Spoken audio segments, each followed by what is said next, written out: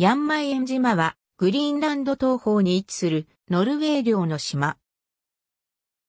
標高2277メートルのベーレンベルク山を要する火山島である。定住者はいないが、電波広報援助施設と気象観測施設があり、ノルウェー軍とノルウェー気象局の要員が駐在している。なお、整形8度に位置する島でありながら、ノルウェー本土と同じアトックプラス1を用いている。ヤンマイエン島の位置。グリーンランドとノルウェーの間に位置している。アイスランドからは北東へ約 600km、グリーンランド東海岸中部から東へ約 550km、最も近いノルウェー本土とは約 950km の距離がある。ヨーロッパ最北の地として知られるノールカップとほぼ同じ緯度で約 1000km 隔たっている。島の面積は373平方キロメートル。北東南西方向に細長い島で長さは 55km に及ぶ。島は幅 2.5km の地境で2つの部分に分けられており、大きい川である北東側をノルドイコールヤン、小さい川である南西側をセルヤンと呼ぶ。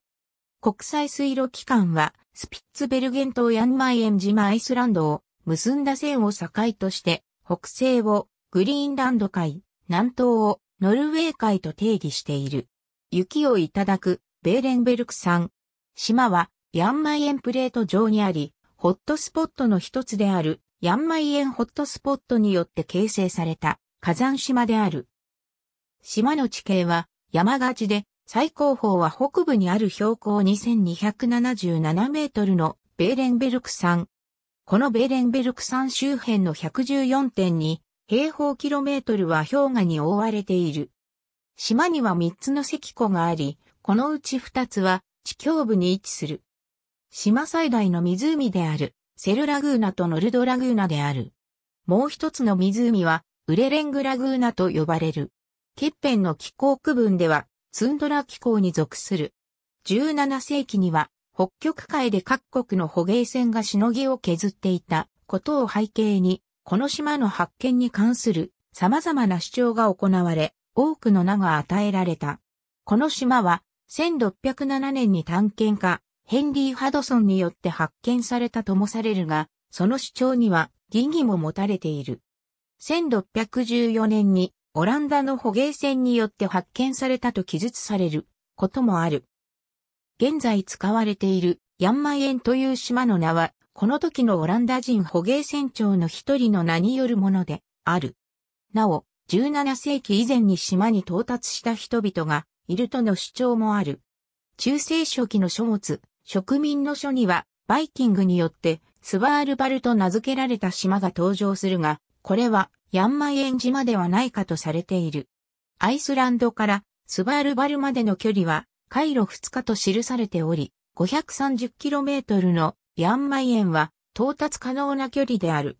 17世紀前半に活動したイングランドの捕鯨船長、トーマス・エッジのいささか不正確な記述によれば、1608年にウィリアム・ハドソンがこの島を発見し、ハドソンのタッチズと名付けたという。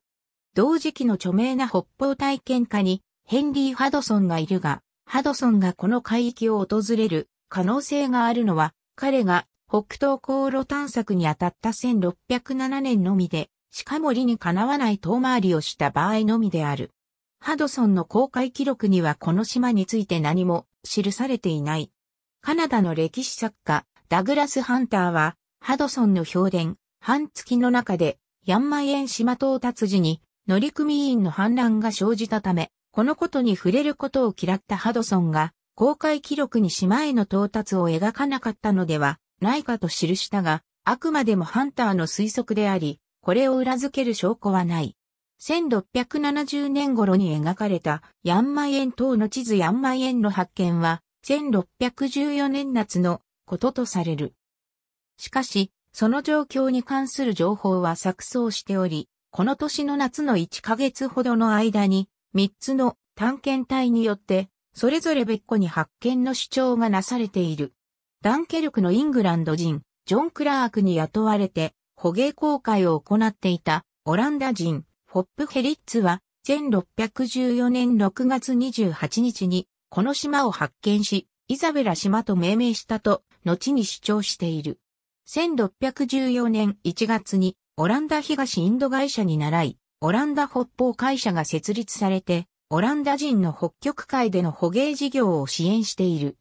アムステルダムとエンクホイゼンの商人が出資した2隻の船、ヤン・ヤコブソーンマイ船長のハウデンカット号とヤコブで、ハウエナー船長のオラニエンボーム号は、1614年7月に、この島に到達して、ヨリス市の島と名付けた。この名は、彼らに同行していた、オランダ人地図制作者ヨリス・カロルスの名にちなんだもので、カロルスはこの島の地図を制作している。ヤン・ヤコブソーンマイたちがこの島に来た時、デリフトの北方会社株主たちが出資したヤン・ヤンス、カーゴホフ船長のクライン数円と変号が、すでに到着していたということを認めている。オラニエ港マウリッツにちなんでこの島をマウリッツ島、あるいはマウリティウスと名付けて、オランダの議会に発見を報告したのは、デリフトの商人たちであったろうと、ヤン・ヤコブ・ソーンマイたちは推測している。しかしながら、デリフトの商人たちはこの島の発見を隠し、自分たちの利益を求めるために1615年にはこの島を引き上げている。両者の間で紛争が発生し、1617年に両者が共に島を捕鯨基地とするという形で、ようやく決着した。1615年にはイングランドの探検家、ロバート・フォザビーが島に上陸した。フォザビーはこの島を初めて発見したと考え、島をサートーマス・スミス島、火山をハクルイット山と名付けた。このほか、ジャン・ブロリックはこの島にリシュリュー島、ラデ・リシュリューという名を付けている。この島は、ウィレム・ブラウが観光した1620年版のヨーロッパ地図に初めて登場したが、ここでヤンマイエンの名が与えられた。発見者の一人であるヤンヤコブスゾーン米の名から取られたものである。ブラウはまた、有名なゼスピーヘル地図においてこの島の詳細な地図を掲載したが、そこでもヤンマイエンの名を用いている。こうして、この島の名はヤンマイエン島として定着することとなった。ヤンマイエン島での芸油生産を描いた絵画。ヤンマイエン島での捕鯨を描いた18世紀の絵画。後方にベーレンベルク山が見られる。1615年から1638年まで、ヤンマイエン島は、オランダ北方会社の捕鯨基地として用いられた。北方会社は1614年に、オランダ議会から北極海捕鯨事業の独占を認められている。1615年には、北方会社の捕鯨船とデルフト商人の捕鯨船の2隻が島に立ち寄っただけであったが、翌年には多くの捕鯨船が島に送られることとなった。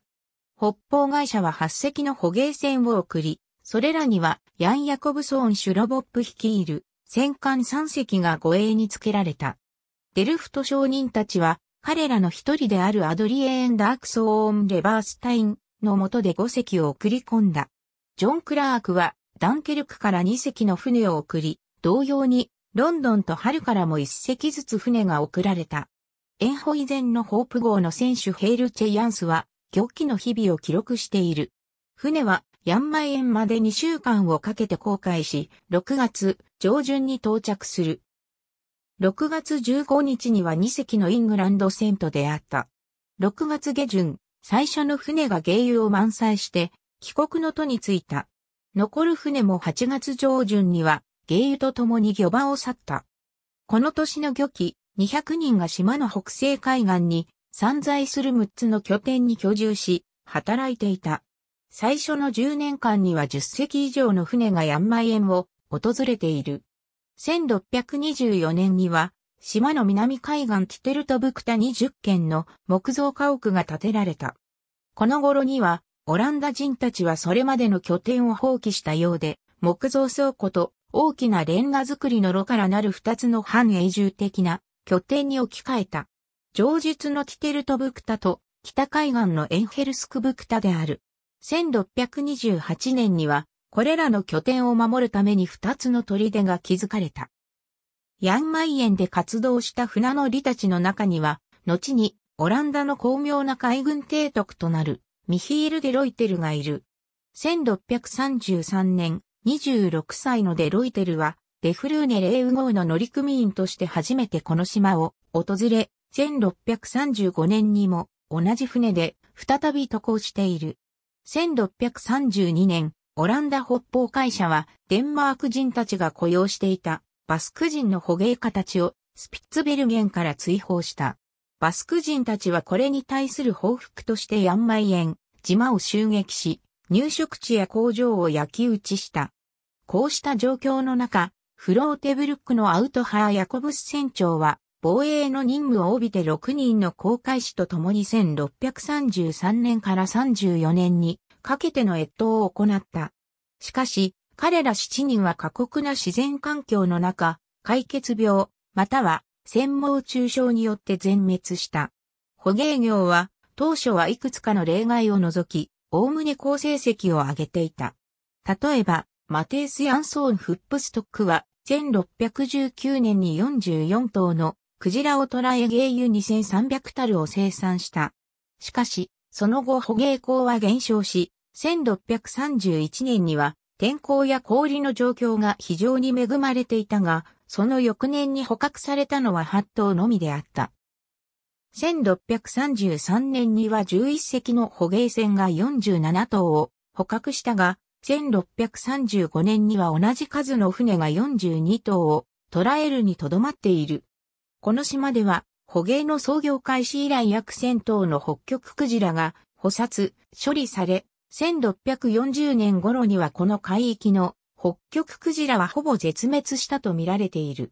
こうして、捕鯨基地としてのヤンマイエン島は放棄され、以後2世紀半にわたって無人島となった。1882年から1883年にかけての最初の国際局地年において、オーストリア・ハンガリー帝国の北極体験隊がヤンマイエン島に1年間滞在した。探検隊はこの島の測量を行い地図を制作したが、その地図は1950年代まで使用されるほど高い精度のものあった。オーストリア隊のヤンマイエン基地とその資材は、ミルチェック伯爵が私費を投じて1882年に整えられたものである。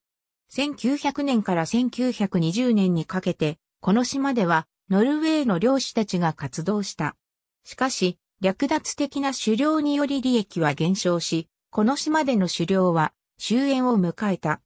北極熊はその数を減らした。国際連盟はこの島の管轄権をノルウェーに与えた。1921年にノルウェーは最初の気象観測施設を島に建設している。1930年2月27日、島は法的にノルウェー王国の一部となった。第二次世界大戦中の1940年春、ノルウェー本土はドイツに占領された。ヤンマイエン島で任務についていた4人の男たちは、ノルウェーではなく、イギリスに気象情報を送って、ドイツへの反抗を示した。イギリスは、ヤンマイエンを X 島というコードネームで呼び、ドイツの攻撃から島を守るために島を強化しようとした。1940年11月、亡命ノルウェー海軍の砲艦フリチョフ南線は、この島の近海で海図に描かれていない暗礁に座礁した。68人の乗組員は船を失い、島の観測員と合流した。イギリス軍の司令官は、砲艦の喪失によって、次の春までのヤンマイエン等の放棄を決定。救援船を差し向けて4人の観測員とフリチョフ、南線の乗組員を救出した。この際、気象観測施設がドイツ軍の手に落ちて利用されないよう、施設は破壊されている。ドイツ軍は1940年11月16日、島に気象観測チームを上陸させようとしたが、チームを乗せた海軍の輸送トロール船は、イギリスのレーダーに捕捉され、さらに島の沿岸で座礁してしまった。ドイツの乗組員は島に上陸して逃亡したが、英国駆逐艦からの上陸部隊によって捕虜にされた。